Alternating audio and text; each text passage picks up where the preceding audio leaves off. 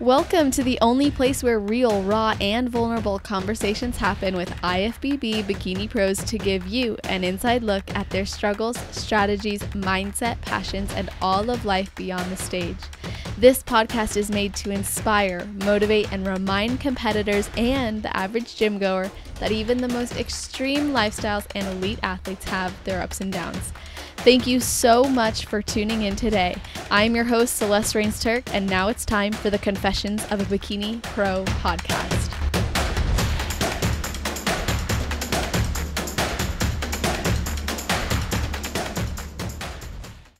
Hello, everybody. Today I have the pleasure of talking to a 23 year old pro who qualified for the Olympia in her first year in the Pro League. She attends beauty school, has a full time career, and is the founder of Clearly Confident. She wants to promote self love and confidence to men and women. Welcome to the show, Darah Diaz. How are you doing? Hello, hello. You said it right. So, thank you for down. having me. It means a lot.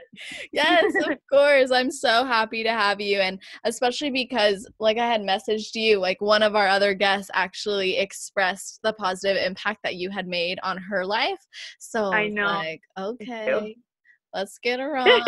and I'm really glad that I found you. And um, yeah, you're amazing. And so I'm excited. We have so many awesome things to talk about today. And of course, before I start the episode and get into it, I got to know if you have a ritual or a thought or something you do right before you step on stage. Yeah, there's something I do. Um, not really. I I have been a dancer my entire life, so I'm kind of used to the stage. I feel like a lot of people that may ha- do that, it's because they're trying to get their nerves out. Like me, I'm just constantly practicing my routine, and it's like it almost goes right into like my routine when I step on stage. Like I'm practicing it until the judges can see me um, from the sideline. So, I mean, I'm just always practicing. That's like really the only thing I do. It's not really like a ritual. It's just like getting me amped up and ready to go.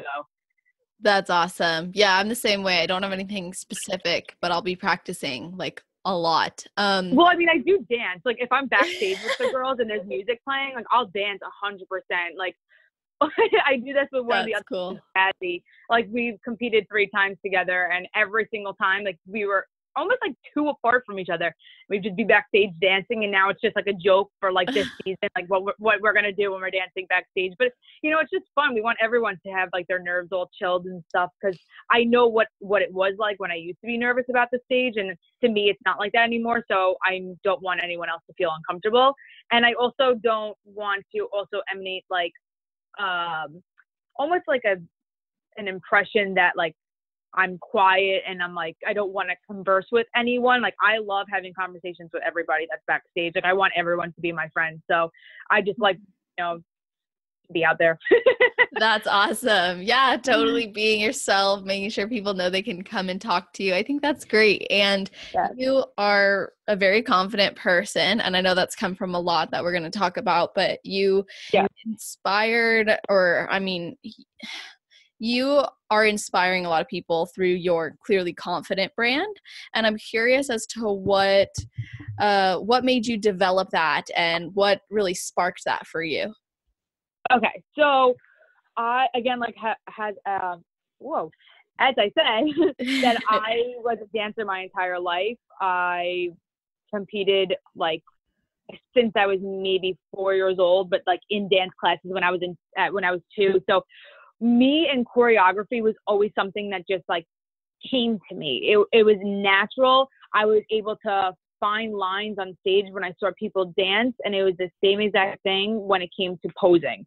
So I can easily look at someone on stage and be like, ooh, if only she brought her glute closer to the judges. Ooh, if only that she brought her shoulder a little bit more forward. All these little things that I see that can actually create a better image and, you know, proportion for that competitor and you know i obviously love this sport so much so i'm like i want to impact on it more than just being a competitor. So i ended up being a posing coach. I started um, you know with local girls and my teammates as well that knew that i was confident in giving them a great routine um, and actually a customized one not just like a random one. Um, and then the names we're trying to uh, come up with, I didn't know what I wanted to name it because I just know I didn't want my name in there. I just wanted it something that really stuck to me. And then when I started putting out the word confident in there, I'm like, okay, what can go with confident? And then one day, everyone knew I say the word literally and clearly a lot. And everyone's like, clearly confident. Like, that's like, hello. And I'm like, oh my God, clearly confident. Like, it's amazing. And as soon as I heard that, I was like, no ifs, ands, or buts. This is what we're doing. Like, I got my, well, I'm in the process right now of getting my name trademarked. So Woo. it's like really big. Like, I'm so excited for it. But that's a little bit on the posing side. And like, of course, I I want to reach anyone. I do FaceTime, I do Skype, I do in person. You know, there's a seminar going on at Bev Francis Powerhouse Gym this weekend. There's girls traveling and they're like, oh, I need to set up a posing session with you, even if it's just for once. I'm like, by all means, let's set up a time. Because I want people to like almost get that experience. And I feel like that's where, you know, I I don't want to say the word sell, but like that's where people like love what I give because it's like almost like an experience of going there. It's like almost getting your hair done. It's like you can get a great product, but it's like what happened while you were there. Yeah. And that's what I wanna wanted to give. And then also my company is also makeup as well. So I'm in beauty school now, so I cannot do like coloring and ha- for hair. So that will probably change. Like the bottom part of my line will change to like makeup artistry, hair, and posing. But uh, or maybe cos. I don't know, but the mm-hmm. makeup part, I my I'm in a family of all cosmetologists, so it was something that just came hand in hand with me, and it goes right back to the dancing roots all over again. I had to do makeup when I was on stage, and then I started doing it on myself. I did it on my sisters, I did it on family, and now I'm doing it on competitors and then people that are outside of that for like special events, weddings, um, you know, all different things. It's crazy how much like my company has grown and I'm like really happy about that. That's awesome. And it's so inspiring to hear that as well because I think there's a lot of people who have a passion or they see an opportunity, but they're afraid to jump on it and they're not sure if it's going to work out. And even now, like you're seeing success and you're like, oh my gosh, this is so cool to see that I've grown so much. So, what are you doing to stay focused on building your brand while being on prep? So, um, for me, prep. I don't. I don't know how because sometimes my mind changes about it. Prep is a job in a sense where, like, this is what I need to do every single day, but then it's also a lifestyle. So when I start seeing it as a lifestyle, I'm like, well, I do it every day anyways. I'm going to be going to the gym. I'm going to be doing cardio. I'm going to be eating clean meals. So what is it any different? So I do part time training because I'm going full full time to school, and then the hours that I give for makeup and posing, however, if you want to call that part time, full time, or whatever, it's a full dedication. Mm-hmm. It's just I, um, I don't know. It's like I can't. I, it's just as I go and I promote it, and when people see, you know, me posting about how I pose or my past routines, or you know, just pictures how I look on Instagram, I guess people just get inspired, and then they just have an eye to see me pose and they're like i want to pose like her. So it's almost like a mutual thing like i'm just showing myself and what i have to give everyone and i guess everyone's just trusting that you know i can give them something great. And it's not like so much where i have to go out there and promote every single day this this and that. I'm just showing everyone my work and if you love it come on come on over mm-hmm. yes that's the best way you can do it like if you can run a business and make money and do what you love by being yourself right if you can get paid yep. to be you that is the best gig in the world and Absolutely. i loved I love that you said that it's a full-time dedication. I cannot relate to that any like seriously girl like that. I okay, so like I was previously before I got into all of this, actually right before, I'll like I try not to talk too much about myself, but I feel like this is gonna draw a good connection. Um, but when I like started my business, I was 18 and I was working a job. I was actually working two jobs. And then as I started to grow with it, it was like I'm also a full-time student. So I was a full-time student working two jobs and running my business and then two jobs turned into three jobs and it was literally just because these things were coming to me as opportunities and i was really afraid right. to go like full force into my own business as well.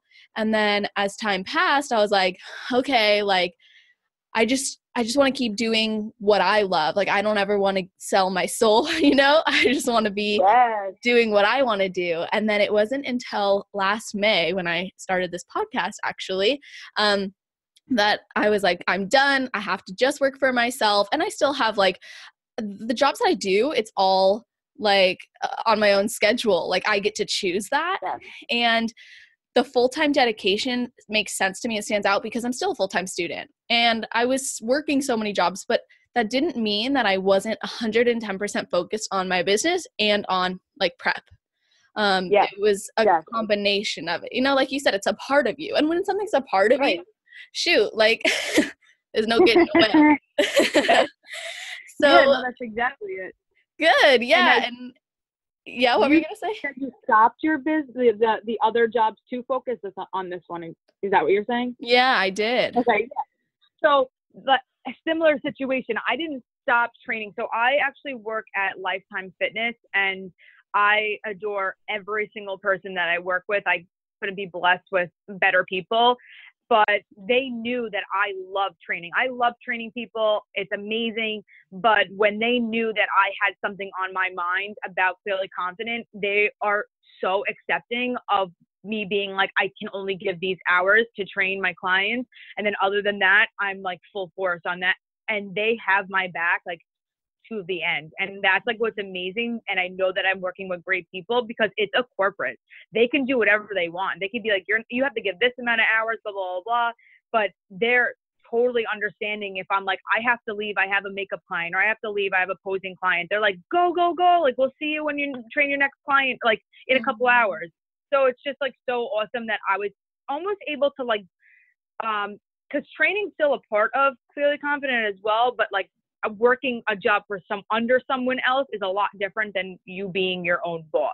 Yeah. So th- I'm just so happy that they were able to, you know, accommodate and allow me to grow more because if I if I didn't it's not like I couldn't focus a lot on clearly confident. It's just I had to be there for like nine hours in the day on top of being a student. And I'm like, I don't really have that much time to give when there's people contacting me that they are traveling from Pennsylvania all the way to Long Island. So I'm like, I have to do that. Like, this is my, this is my love. This is my passion. And this is where I want to go for. And I want to grow big. So I'm just happy that I'm able to do it. Yeah, that's amazing. And it really is obvious as well that you feel so passionate about it. And I love that there are so many people in your corner supporting you through that because nothing feels better, honestly. Like, yes, like no amount of self love could ever compare, of course, because self love is of the course. best. But when we have the people around us able to support us too, that goes a long way. Um, so, like I was saying, I know you're passionate about this. You're passionate about helping others to feel confident. You're really committed to growing this brand, and um, you really want other people to love themselves more. So, did yeah. something happen in your life that created an internal transformation that you want others to be able to experience? Yes. So, I have been going on this whole, obviously, within the name Clearly Confident, it's obvious that I'm trying to like promote girls to be confident within themselves. I'm actually still doing it, but there was this one moment um, back around September that I kept pushing self care to everyone out there. Like, I want everyone to feel beautiful and, you know, just be confident, do things that you love. And, you know, once you find self love and happiness within yourself, like everything around you changes. So, the reason why I I'm saying that, so I'm talking about more now back a long time ago uh, when I was in middle school all the way until my first year of college. I was bullied like every single day.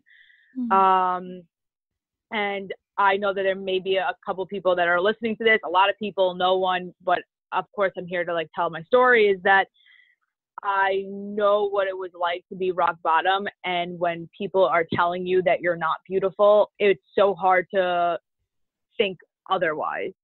So if someone's telling you like you're ugly, you need to fix this, blah, blah, blah, about yourself, and you're trying to tell yourself you're beautiful, it's hard when you're the only one doing that. And the mm-hmm. only way that that is going to change is within you.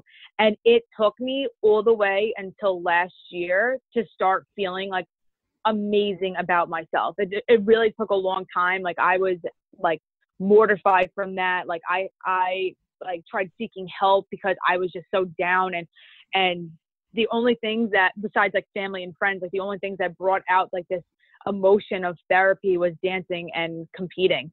And I knew that this was going to make me better. It makes me feel amazing. It makes me feel happy.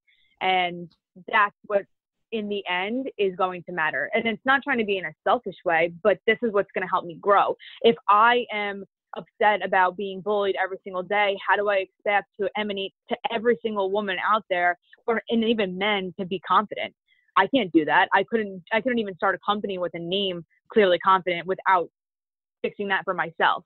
And that's what I want to show to everyone now. Like my mindset has changed. Like if someone wants to talk about me, let them talk about me. But I know myself and what makes me feel happy and all this stuff. So I put this whole like self-care movement out on Instagram um that like when I got my lashes done, when people got pedicures, like I told everyone to tag me and like there were so many people that reached out and they're like, I never thought that just going to get a massage would feel even better than if I just went without you saying it. She's like, I, they're like, I never would have done that if I didn't take time for myself and make myself feel happy. And when you are happy, that's when everything else around you is actually going to grow as well. So like it's going to help with friendships, relationships, your job and everything. So I I as much as it's hurtful and like really sad to think about what happened to me in the past and like the I don't even want to say the word torture because torture could be like can be have any meaning but to me it was torturous like every single day mm-hmm. of like going to school and I am almost thankful that it happened to me because it almost put me where I am today. So I don't like obviously like thinking about the negative, but I know there may be people that have been bullied or, you know, upset or depressed or anything like that. But it does get better once you start with yourself. And that's like the actual answer to it all. It's not, you know, anything else. Absolutely agree. Yeah, 100%. Um, self love is the way. Um, my whole brand was built on the idea of self love for similar reasons to you, except for the toxicity was really coming from myself. And right. um, I, I think that, well, something I always say is like the more love that we have for ourselves, then the more we can radiate out into the world, and thus the more we can receive. And um, love is a universal language and like it's universal every single soul can understand it and it can be felt and it can be um it, can be given it can be received and yeah. it is so powerful if we know how to give it to ourselves and receive it mm-hmm. then hate no longer impacts us at the same level as it once did without it. Um, right. It still be painful, and we're allowed to still have those emotions, of course, you know, go through it. But that self love that you're sharing is what helps you to overcome those types of criticisms or face them or just go with that mindset of let let them talk let them talk because i know who i right. am so right. what are some of your favorite self-love practices i actually write down things that I love about myself and I physically say it as well.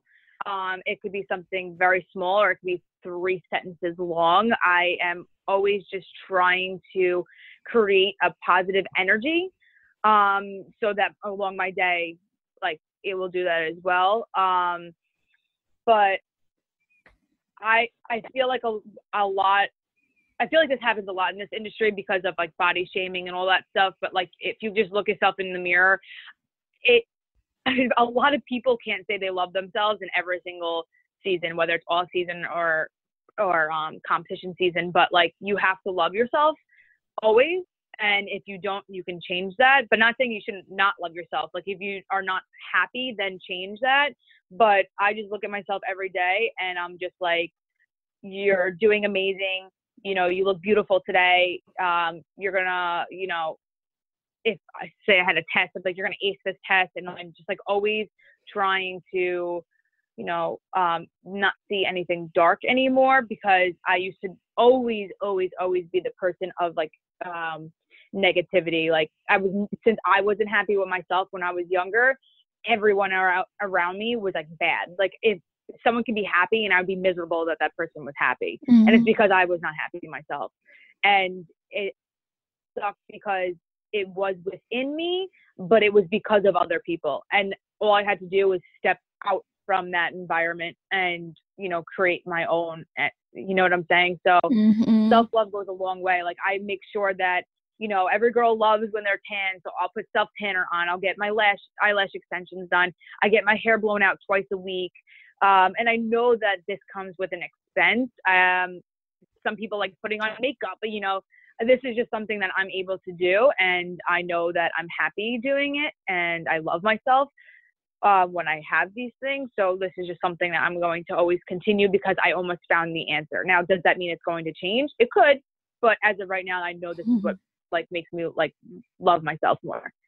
Yeah, absolutely. And I, I think that's awesome. There's so many different ways to express it, and everyone can receive love differently. Like, even if you look at it from an objective relationship, because I know when I was struggling with myself, I was like, I don't think I ever will. Like, I don't know if it's possible. Yeah. So, yeah. like, that objection that objective viewpoint is very helpful and i'd be like okay well like in a relationship some people receive like the five love languages right like some people oh like, yes i'm you so happy know? you said this we on the same wavelength yes but you know what i'm saying it's like you like for you it's like okay i invest in uh self-care through action right gifts like you buy yourself these um, treatments, you know, that you really yes. enjoy.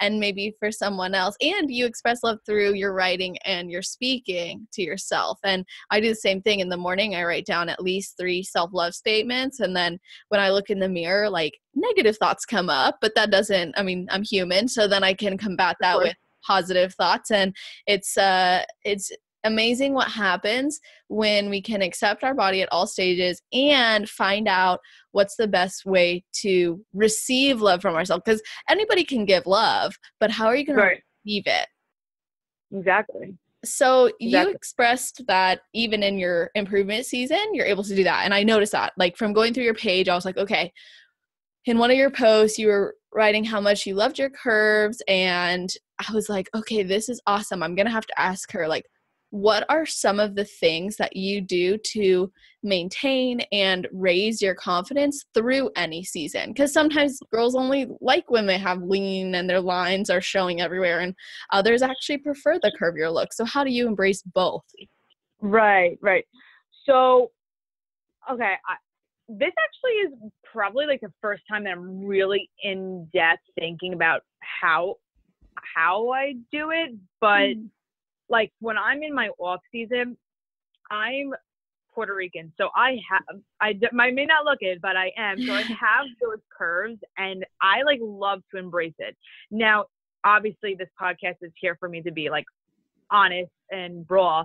When I go to the gym, and a gym that has nothing to do with bodybuilding, so I mean like when I go to Lifetime, uh, if I go to I don't know some like random gym or corporate gym, I get more compliments when I'm curvy.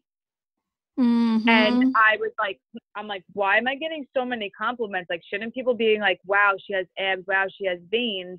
and then when people started telling me that I that they love my curves, like I started looking at myself in the mirror and I'm like, you know what? So do I. Like, I love my curves. Like, even my boyfriend, he's like, I love you in every stage. He's like, I love you because I have something to grab. And goes, but I like you the other way too because you're nice and petite. He's like, so there's, there's both answers. And I'm like, exactly. Like, I'm not one at all to be only five pounds above stage weight in their in their improvement season at all. I I I mean, don't get me wrong. I don't want to be sloppy, mm-hmm. but I let my natural curves come through because you know I'm a woman, you know, that is natural for me. I, I don't want my body to be an extreme at all at all moments. And I appreciate when the curves come back. Like, yeah, my my waist may be tiny and it's but it's not lean, but I'm okay with that. And I just feel like, you know, you may fill out your outfits a little bit better. And I think that's where women have to start embracing curves, not looking at as fat. That's like the complete opposite. Like I I say that I have fat that doesn't mean I am fat. You know, like Mhm. the fat is in the nice areas. Like so and I want to shape it. Like I there if I want to look at myself in the mirror and then tell myself, you know what, I don't really look good today, then this is where I come back with a positive note and be like, okay, if I don't think I look good today, what am I going to do about it? Am I going to go on the stairmaster? Am I going to pull back on the calories and or, you know, or am I going to just, you know, have a really heavy workout and get like pump up my glutes even more? Like I just give like myself a solution to instead of like I I acknowledge the negativity and make it something positive and it, everything that I'm saying really all ties together. And then when it comes to competitions, I get all the compliments from the competitors.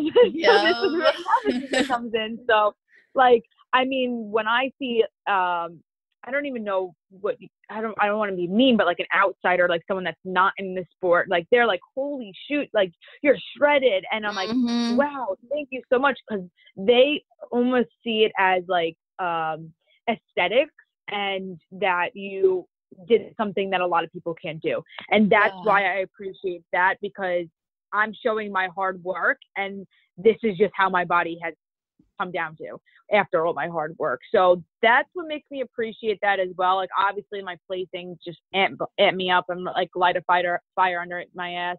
But I guess that's how I find happiness in both bodies because there's really no reason for me to be upset about it. Like listen, if I was in my off season normal weight and then 20 pounds, pounds above that, then you know, then that's a, a problem in my sense because that that would be like overweight but maybe there's something uh, solution i mean like something underlying that of why i'm like that and then that's when i would fix it. But in a true off season like body i love my curves. Like even last year going into my pro debut i was upset. In not like upset upset but like you know i was like oh my god like i'm gonna lose my butt. Then I was like, and then I'm like, you know what? But that's just gonna make me work harder. I do not want a pancake ass on stage. I said, so I'm gonna work really, really hard to have even when I'm lean. And this is what I just did. Like it was just something that I just loved myself. And again, this wouldn't have happened if this was years ago. Um, I don't know if I've mentioned this to you before, but uh, I don't like saying this out, out loud in a sense because I know people that that has had it so much worse. hmm But I actually used to daily and multiple times a day abuse laxatives when I was younger. Mm, And that actually falls under the category of being bulimic. right. And I don't like going out there and being like, oh, well, I was bulimic, but then like I was completely fine in a sense of eating. Like I would, I wouldn't binge, but like I would go eat what I want. And then like later on, I would have three like laxatives, be in excruciating pain. And then after I was all done with everything, then I'd be like, oh, I'm skinny again. And it Mhm. wasn't in a sense that I got so skinny how bad other people have, but it was my way of like wanting my body to look amazing. And I know actually a good amount of people that have started prep coming from an eating disorder.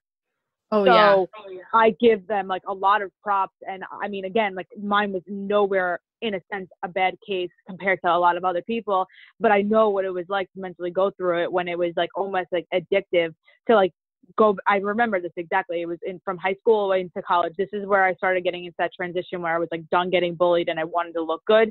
And that's what I turned to. I was like, oh, laxatives are going to make my stomach flat. So I'm going to take laxatives. When you can look back at pictures of me for my entire life, I was always like a stick figure. Like that was just me. But I just wanted something that was just a little bit better than I had because people were telling me otherwise. And then again, like I this is nothing how I think now. Now I love myself. If I I was 30 pounds lighter when I was in high school. hmm You know, so it's just it's so different because if I saw that weight now, even though weight to me is not like the scary like number doesn't ever scares me. But if I looked at myself now and, and this was me seven years ago, I'd be freaking out. and now it's not like that.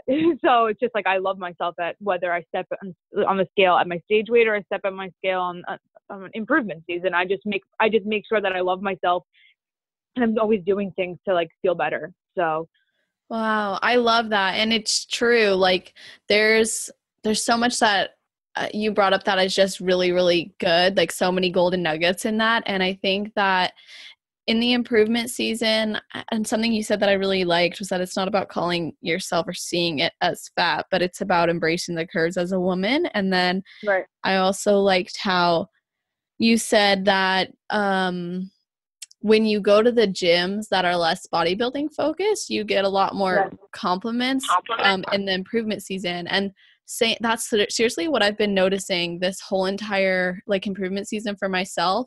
I've gained a lot of weight right. and I look a lot fuller and I know that and there were health reasons as well, but I'm very happy with my body and I love my curves and my shape and everyone is literally coming up to me like people who never said anything on prep are like you look so healthy.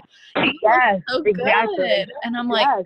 health yeah help help that's a good word because uh, that's what i'm going for and it's amazing like then obviously when you're prep like it's almost like you're a spectacle because it's extreme it's very different and they people like that you see at gyms like they see you go from one extreme to the next even if it's not that massive of a change right? Like even if you don't gain let's say like 40 pounds or 30 pounds or uh, even if we're just talking not even about weight but fat percentage like right. even then like they'll still see you change um, just like we see ourselves change. And um, and then when you mentioned about how when you were younger you would um, essentially purge through the use of laxatives.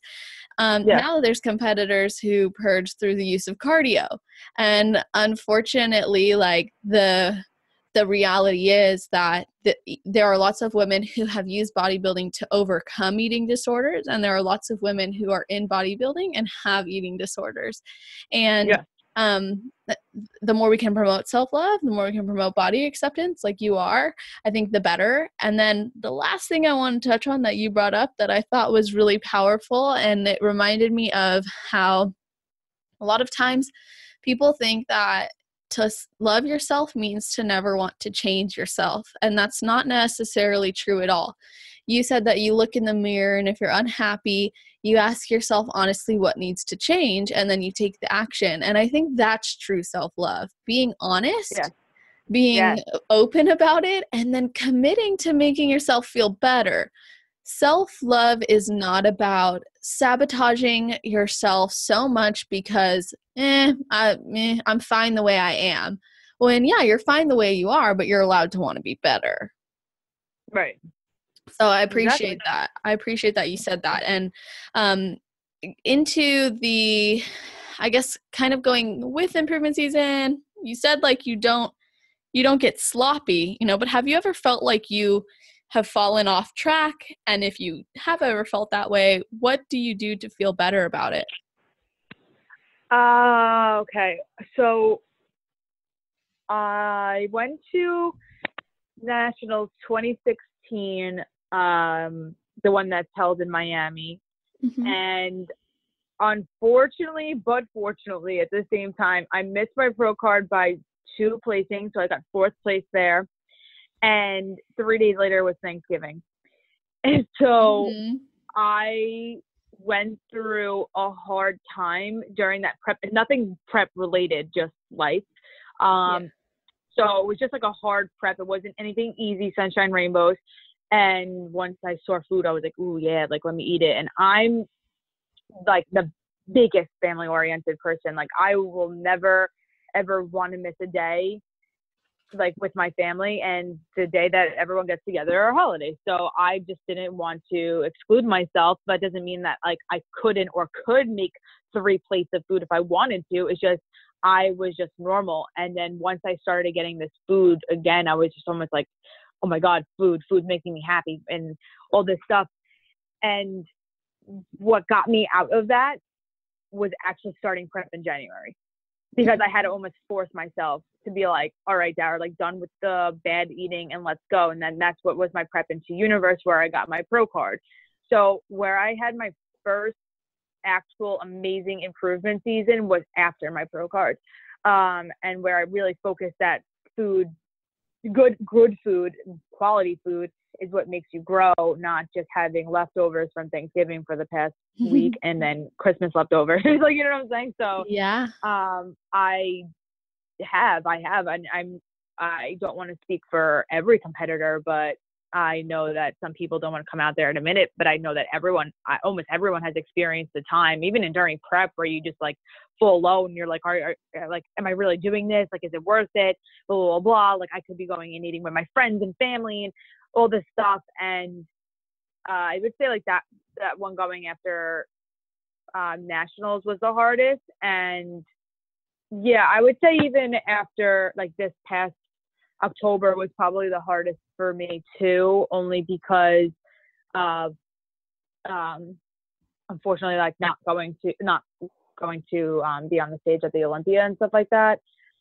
Mm-hmm. And October, it was like almost like that was almost the true fight of being like you're better than this. Everything happens for a reason. Like at first, I was like so upset. And then I kept telling myself, again, everything happens for a reason, Darah.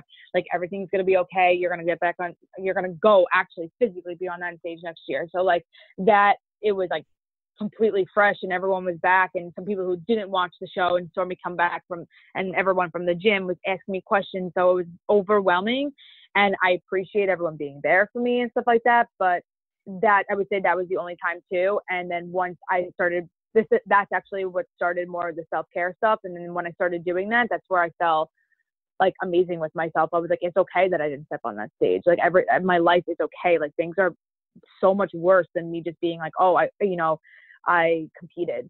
You know i mm-hmm. there's I, I can't complain about that stuff when there's worse things that people are like going through in their life and i was like this is what makes me happy and i'm going, conti- going to continue it and that's when i started getting my lashes put back on and you know using self tanner so i'm not completely pale and like i just started feeling amazing and then you know everything else went with it. So it was a long prep. It was 10 months and i've never done that long of a prep before. So wow. once i got to like see friends and stuff like that like everything just almost fell into place and i know that's extremely hard for a lot of people um, because you kind of get like the people that have experience that you get lost and you're just like i don't know what to do. Um, there's I've I've heard heard so many stories and I feel like the best way to give people advice is the ones that have gone through the experience. So mm-hmm. um, if anyone's listening to this and has been going through it, you can contact me. I would love to talk to you. I just don't want anyone to feel like they're alone or like they feel like, you know, I'm the only one that has gone through this because I'm sure everyone almost everyone has gone through a, you know a moment where they like fall short and they're like how am i picking myself back up to be where i was yeah so. absolutely and i think sometimes that is that becomes really prominent in people's lives when they maybe expected a different outcome than they received. Like when I look back at when it was the hardest for me after a show, it was usually when I maybe didn't place as high as I would have liked to, or right. if I didn't think that I was going to be able to compete again in a long time, that was when I struggled the most. And I, I know the very first show I ever did was a really horrible, horrible post show rebound. I was like, totally, I hated everything. That's for another day. But then, like, right. then, like, this past show is like, I looked the best I've ever looked. I was super happy, but wasn't going to compete again for a while because I needed to get my health back and right. that yeah. was tough because i was balancing okay well i have to get out of this identity of competitor and into this identity of someone who loves competing but needs to be healthy right now and that was that was finding that balance was tough and i definitely agree with you that people who have gone through it can provide a lot of great insight and advice. It inspired me to launch my post show program and really help people with that self love and that mindset aspect because so many people struggle with it. It's like, it's really heartbreaking, but at the same time, it's helped to develop us into, I think, better people and better competitors. And um, I mean, looking at competing as a whole, it's an amazing sport. And I know you love it and you are invested in it and it makes you really happy. So, what about competing brings you personally so much joy? Uh, okay, a couple of things. Um, the re- reward of my hard work. Um, I always love that feeling. And actually, again, like when I danced my entire life, that was like my escape and like my therapy and that's the way that i was so uh, do you know anything about dancing? Have you danced before? I'm the worst dancer you ever met. okay, so there's there's like different like categories. Um, like there's hip hop, ballet, lyrical, jazz, contemporary, and my favorite ones were jazz, contemporary, and lyrical. So those ones you like really almost have to put on like an act. Like if there was a song that I was dancing to and it was talking about like a sad moment, like you had to express like a sad like a sad person and just live that moment mm-hmm. and perform. And it was just so cool to transition that. And then that's what I love about competing is that I, I'm coming on stage and I think this is where a lot of people um you know, it's like to them, it's just posing. Like to me, this is a performance. Like this is all the work that I have put on, put in towards myself and into this sport. And I'm here now to show everyone what I have. So it's not just a posing routine. Like I want people to be like, that was a performance. And that's what I was able to see from the like the crowd standpoint when someone just poses or someone just dances and is a completely different version of when someone actually puts on a performance and that's what mm-hmm. i feel like a lot of people um they i catch their eyes when i'm on stage so that's like the feeling of it too that like knowing that you know i go on stage and then you know the way that i look the way that i perform has gotten me great placings so um it's also knowing like you know how well I've done and how I will continue to always push to be even better than that. So yeah. that's like what's the exciting part. And you know, everyone loves like show day. I mean, besides the fact of you being like extremely tired, like everyone loves getting glammed up, you know, looking beautiful and getting all those stage shots and having your sparkly bikini on. Like it's amazing. So it's just it's like I keep saying it throughout this entire podcast, but it's like it brings back dance days. And I loved, you know, dance dance was my love and my passion and now this is. So it's like the same exact thing but different motions yeah absolutely and i think that's awesome that you're able to relate the two so much and that's actually helped you be so successful in this and i'm wondering like when you step on stage.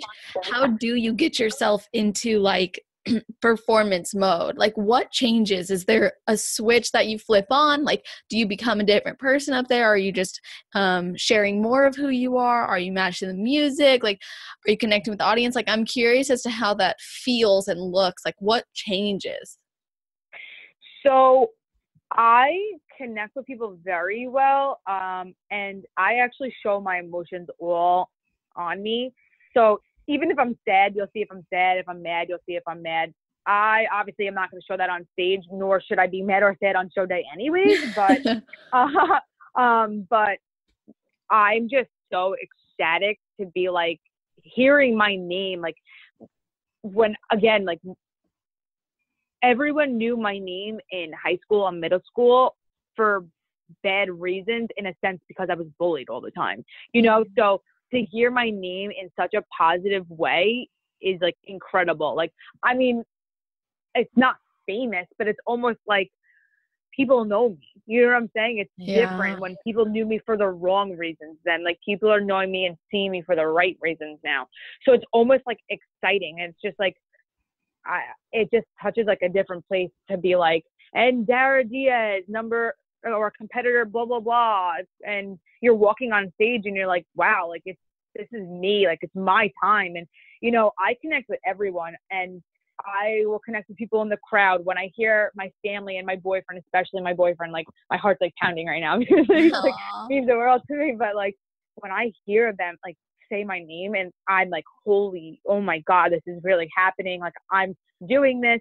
When I see the judges, I'm like, you're keeping your eyes on me. Like I don't want any, I don't want your eyes on anyone else, even though that sounds selfish, but that's the, the way that you have to think when you go on there. Like you yeah. are going to be looking at me this whole time. Like I'm going to make sure you don't look at anyone else because I'm giving you something so good.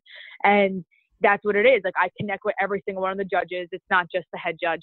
Um, especially when the music comes on. I love when the music comes on. That's like almost the dancing part. Like I strut out there and, you know, I go to each step. Even if I don't know the song, I can actually hear music very well in a sense where I know like what beats coming next. So like I'll go to that rhythm. It's just it's so and that as well is what also makes the performance even better. Like again, like I I critique people in a sense because I see it at, from a coach standpoint. So when I watch someone pose on stage, like I could tell if they're off key. And like, does it really matter that you're off key? No, but being on key to the music just looks like you're actually putting on a performance, not just a posing routine. And this is where it all goes back to like why I feel um, that performing is like the the natural and easy and fun part for me and that's why i want to you know share that with everyone else as, as well because i know posing isn't you know people's strong suits and um so that's why i'm like i want to be there to help everyone else and i know exactly what it feels like once i nail it and it's just like i'm on top of the world i don't care what placing i get like i just you know i brought my best so totally. it all it brings everything together that's amazing. Yeah, absolutely. And when you were competing as an amateur, were there some things that you learned that have helped you to compete as a pro and do so well? Yeah, yes. Well, obviously comparing myself um, in my muscle um, density and quality and shape and size, everything about the muscle is where I saw it. Like when I first was going into my pro uh, no, into Universe where I got my pro card, I actually saw Angelica Teixeira and I saw her and I was like, Hey Angelica, can you like can you look at me and just watch my posing? I just want to make sure from her view, from a pro's view, that I'm doing it right. Like I nailed the posing routine and all that. And I remember posing for her and she's like, You're like practically already a pro.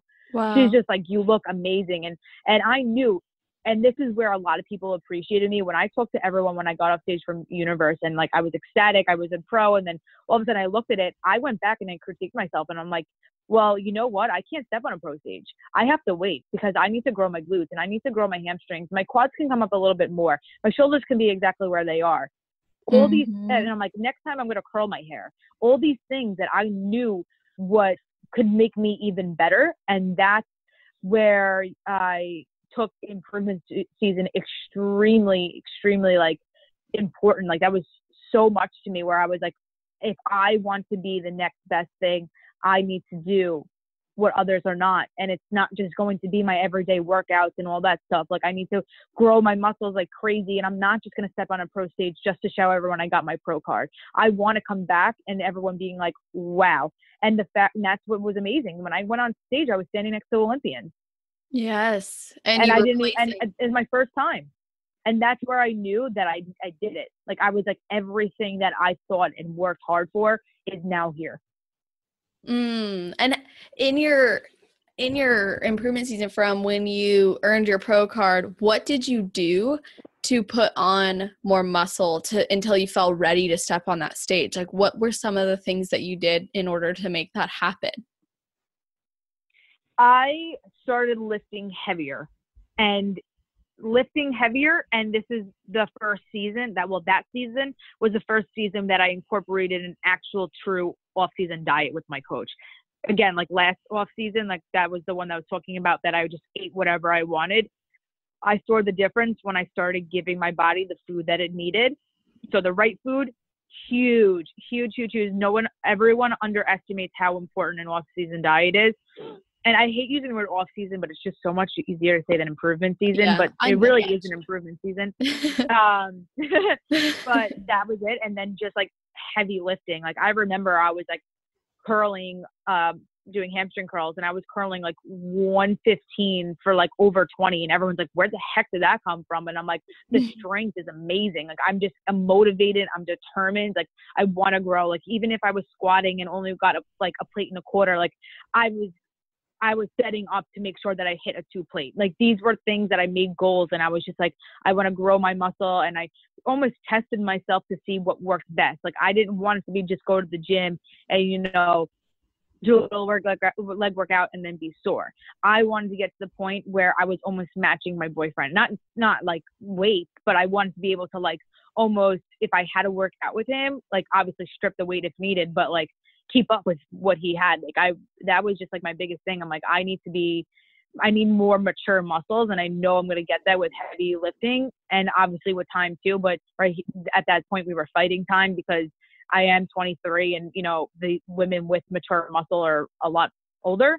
So mm-hmm. um, I was like, I'm just, I just got to do what I can. And I just went into the gym excited every single day. And I was just like, you know what? Today I'm going to, like, every workout, I figured out an exercise to be in a squat rack.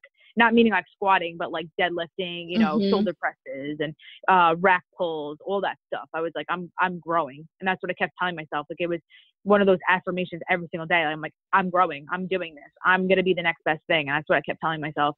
And even though I don't see that now because obviously I didn't I don't have a placing from the Olympia, but it's just like I kept telling myself that and I and that's what everyone needs to tell themselves even when they go on stage that I'm going to be number 1. Even if you're number 2, you're number 1. That's the that's the mentality you want to go to with anything. You know, that or you'll never make it to number mm-hmm. number 1 just telling yourself that you're, you know, you want to place top 2. Don't say you want to place top 2 because because getting first place is top 2. Just say you're going to get first you know so that's exactly. what i kept telling myself and that was the same daily talks every single day. I would map out my entire day what i had to do what i was eating and it didn't even consume me and that's what that's the funny part. Like it was it was so much fun. And I that's what i noticed that i needed that. Yeah. That's awesome, awesome info as well. Because I was just literally talking to my boyfriend last night about muscle building and growth and we were both talking about how important it is to try to increase weight every single time you go into the gym um, based on your last your last session. And um, challenging yourself even if you don't feel the muscle contracting entirely which of course always feels good push yourself for a few sets before and challenge your limits because you might surprise yourself. And um, lifting heavy is one way to grow. There's obviously a lot of different ways to grow, but for the sake of time, it it can be really beneficial and being smart with your training and being willing to push yourself, you know, like making sure exertion rates are high. They're not just like you're going through the motions um, because right.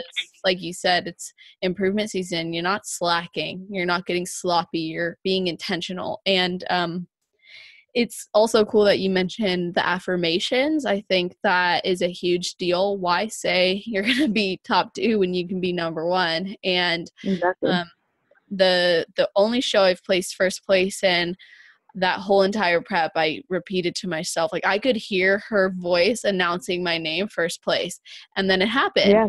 And then yeah. um, I know like heading into the show after that, after doing like a double peak week, I was like, I'm nationally qualified. I'm nationally qualified. Um, but then I was also like, I was like, why don't I just, after that, I was like, why didn't I just affirm that I was first place again? Like, I, instead, I was focusing so much on one thing that I, I think I like got distracted by that. I just wanted an outcome versus like, uh, like a specific thing. You know, I wasn't allowing myself to be specific. I was holding myself back because of it. I still got the right. result, but you're right. Like to to say you're number 1, even if you didn't make it to number 1, you now know what you need to do to get there. And Exactly. So so you're obviously like now you're looking to get to the O and um requalify. What yes. is your game plan for that? Honestly, do like um, well, I want to execute almost the same thing that I did last year. And I'm, I mean, improvement season wise, yes, I am already. But um, just going to the show just with a positive mind and, you know, the work, I, you know, I don't want to go one day like without thinking that I could have done better. Um, and uh, I don't know. It's just I'm just gonna go to the shows and then just keep obviously competing until that that Olympia list comes out. And yeah. I'll just make sure that like, you know, I just do what it takes. Like I mean not to like chew my own horn, but like I did it last year, so like I let me do it again. You know what I'm saying? Like that's mm-hmm. where I'm at. Like I I know what it's like to have gotten there. Obviously this year is gonna be a lot more hard than it was last year because this year they're taking less people. Um, because I don't know if you knew they changed it for 2018, but 2017 there were still pro shows that were happening that people went first, and then that they got to the Olympia. Mm-hmm. So now since they changed that in 2018 has already come, there's no additional shows. It's just the top 25 in, in uh, top 20 in ranking plus the top five from the previous Olympia. So oh wow, though, so there's not like shows that you can win and get a qualification. No.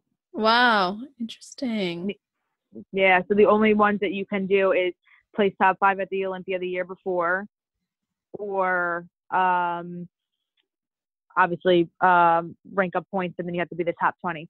So, like for an example, I I don't remember if she ended at this, but Lauralie, um, second runner up, mm-hmm. she actually I don't remember she ended with 40, but when I last saw she had 40 points. This year there's another competitor, uh, I believe it was Chris. She has 28, and we didn't even start the season yet. Right. So now the numbers are even higher. Way you harder to yeah, you're gonna have to do a lot right. of shows. Exactly. So I did three shows and I think I had uh, somewhere between 19 and 24 points. Wow. But the thing is, is the lowest number on that top 20 list 28? Is the lo- the lowest number on that list 14? We won't know until it gets all the way until that list is coming out in August. And that's going to create even more competition because every girl, because there's question involved with that, every girl's going to continue. A few girls I've talked to, it's like, I'm going to step on stage until my name's on that list. And with many, many girls having that as their mindset, I can imagine that that's going to be an interesting list. It'll be interesting to see exactly. how those numbers actually end up being. And um, yeah, like Lauralie, she did like four shows leading into it. Yeah. And she placed like first every single show that she did leading up to it. And right. She's actually going to be the next guest, so I'll probably talk to her about it. But it's interesting Aww, how I love her. Yeah, yeah. she seems so amazing. Great.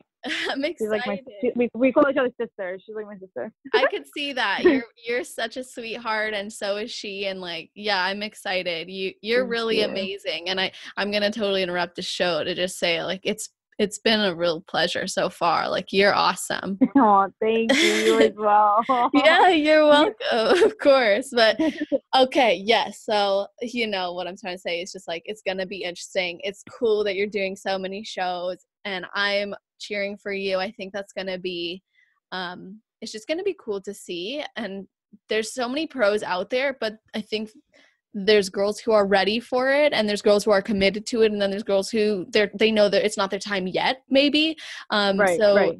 it'll be cool to see who who's committing to that journey and um i'm curious now like this doesn't necessarily just have to be in regard to competing but on a right. daily basis is there anything that you do specifically to continuously align yourself to your goals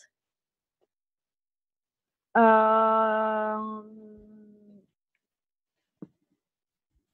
it, it this seems like cliche, but like literally just putting in the effort and work into the goal that I want. That's like it. Like I I would have never sat down one day and dedicated time like strictly for me being on the computer, finding and marketing, blah blah blah, all this stuff for Clearly Confident for an example. Um, but I did it. Even I remember when I was going to colleges, I had to sit down, put a time that I was going to dedicate what school I wanted to go to, which was the obviously obviously the goal and apply to the school. So it's like the same thing like i had to make time like it, i used to be so independent i mean dependent on people and i was never independent.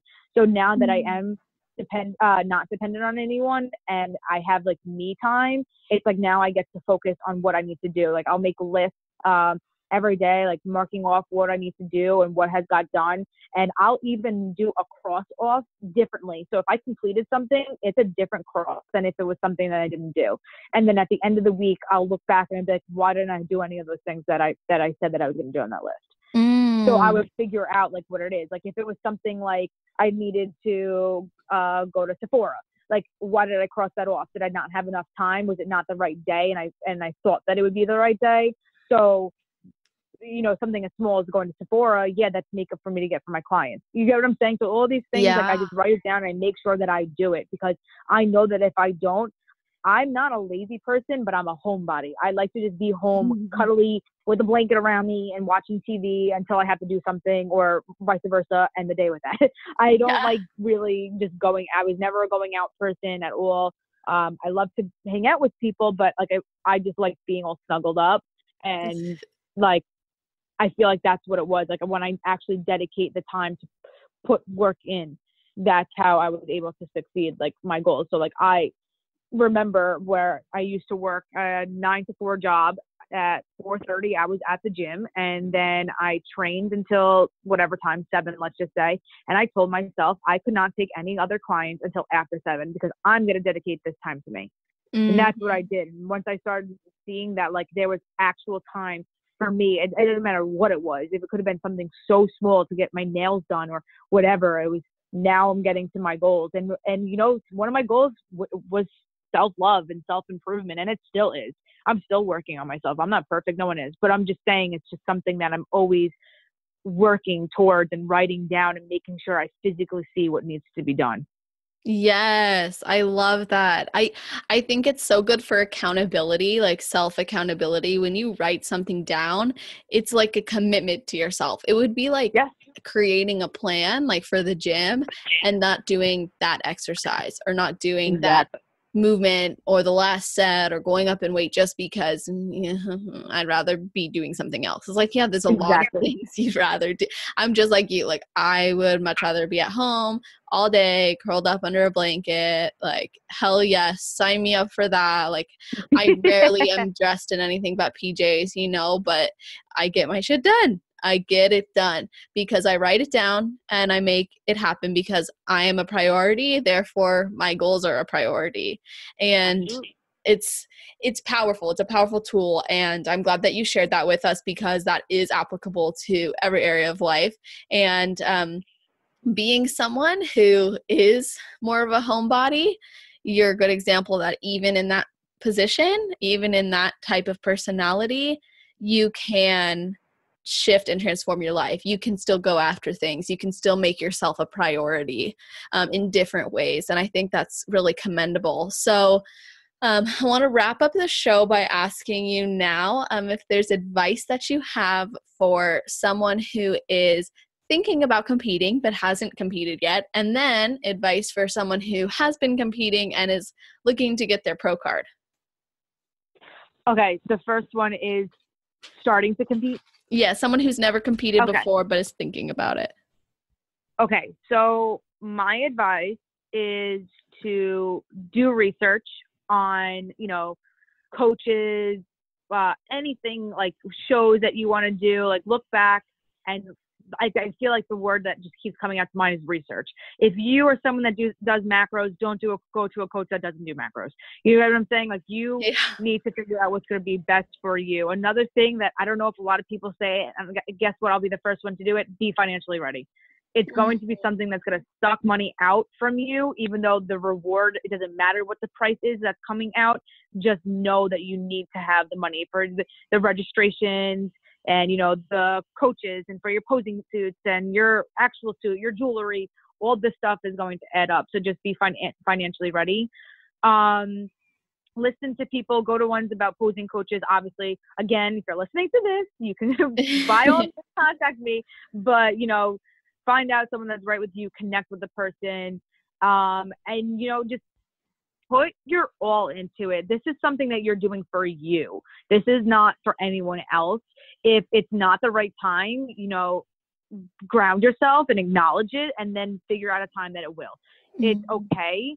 Um, but just don't go into this anything less than 100% because there's going to be girls that are doing that and it's going to show. So just go into this with like your full heart and you know just be happy like get get excited that you're doing something for yourself and you know that you get to be on stage in front of people and you know show off all that hard work because you can show off hard work in so many different ways but this one is actual physical. So it just have fun with the process and just and trust the process. That's a big thing too.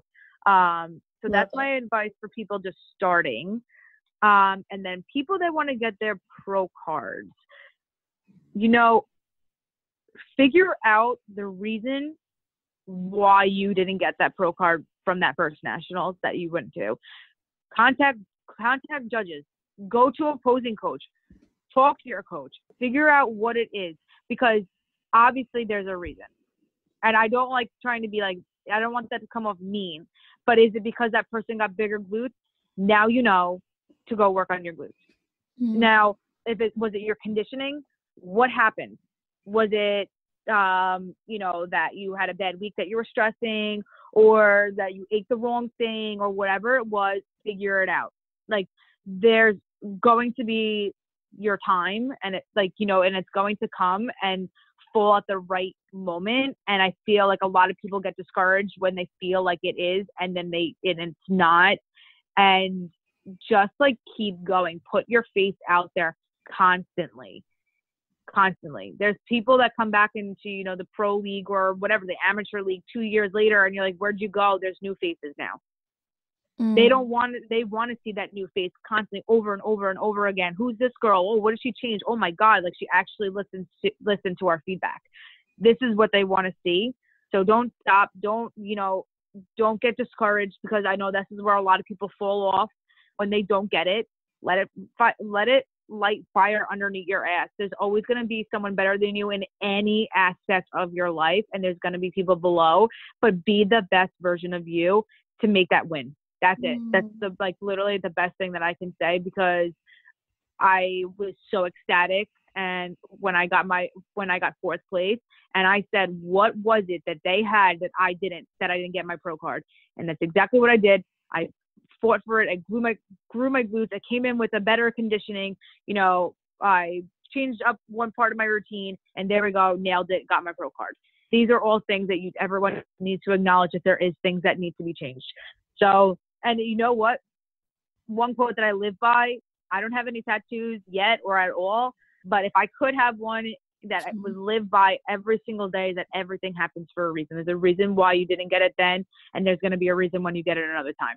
So just, you know, don't don't be upset or hard on yourself that you didn't get it that one time or even if this is your first time going into a nationals.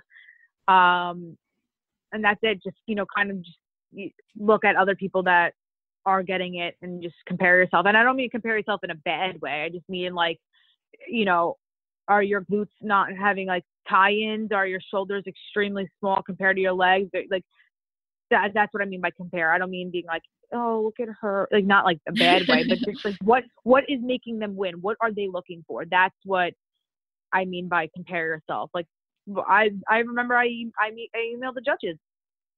I spoke with them if I could. Mm-hmm. I went up to them right after the show. Hey, I know I got fourth place, but what can I do next time? I did that after every pro show. Hey, I know I know I got second place and I'm still ecstatic about it, but what can I do to make first? That's what I was always doing. I was always going up to them and asking them because I wanted to know that answer because I want that to be the answer. I want that first place. And I know that that's what all the girls want, or you wouldn't be on a national stage. Everyone's yeah. a pro card, you know what I'm saying? So figure it out what it's going to take for you to get there and just, you know, be happy that you are able to do what you are able to do. And that's it. I That's love that. that. That's amazing advice. I was like, oh my gosh, I love it. I was taking so many notes. Seriously, that that was awesome. Thank you so much for that. I appreciate You're welcome. it yeah, that was that was really cool. And um, this whole episode has been really awesome. Like I was saying, you're really just a great person, and I've really enjoyed this. And um, you've opened up a lot, which I appreciate that you were vulnerable and real with us. And I know other people have always appreciated that in episodes, and they're really going to appreciate that in you. So I want them to be able to express that to you. So can you let them know where they can find you, follow you, work with you? Um, just give us the lowdown on that. Yes. So you can there I have two Instagrams. My personal Instagram is at Darah Nycole It's D A R A H N Y C O L E, which is my first and middle name. If you type in Darah Diaz, you would still find it. And then actually in my bio is my clearly confident page. So you can see my posing and my um and my makeup as well. Um, obviously, if you contact me through my actual in personal Instagram, I'm not going to be like contact Clearly Confident because it's still me answering it. So you can find me on either one. I answer them both just as fast. I actually have a app number that is in my Clearly Confident page that you can text and it will come right to my phone. So even if you may not believe that DMs are easy or emails are fast or whatever the scenario is, there's multiple ways to find me. I do actually have a website that you can continue on there as well. It's clearlyconfident.info. Um, you can contact, but that's going to bring me an email. So again, it's however you anyone feels comfortable in contacting me. Um, I am very um, what's the word attentive. So you will I'll answer you like immediately or obviously as fast as I can depending on what I'm doing. But I obviously want everyone to have a great experience and all that. So I would love to be a part of everyone's journey. I love it. So no excuses. Reach out to her. Absolutely let her know how much you appreciate it. If you have questions in terms of working with her with, through Clearly Confident, definitely ask her questions. Do the research, like she said. Um, yes. She can obviously help you. So I think that that pretty much sums it up. So, everybody listening, I'm going to put all of her links in the episode notes on the show notes page. So, that's on www.celestial.fit slash podcast. If you're listening to this months down the road after it's been released, no worries. Just click on the categories section on that page, find her name, and all that information is going to be there, along with notes from the show. So, with all that being said, thank you so much again for coming on. And I really appreciate you taking the time. And to everybody listening, I hope that you have an amazing rest of your day, night, or morning, wherever you are in the world while you're listening to this episode. Just make it awesome. Thank you so much for having me. I really appreciate it. And thank you for everyone for listening. I really hope that I impacted everyone. And again, you can always contact me in any case, whether it's just to talk or, you know, for competitions as well. So thank you, everyone. And thank you, Celeste. I really appreciate that, you know, that you took the time out of your day to talk to me. of course. Yay. You're so welcome.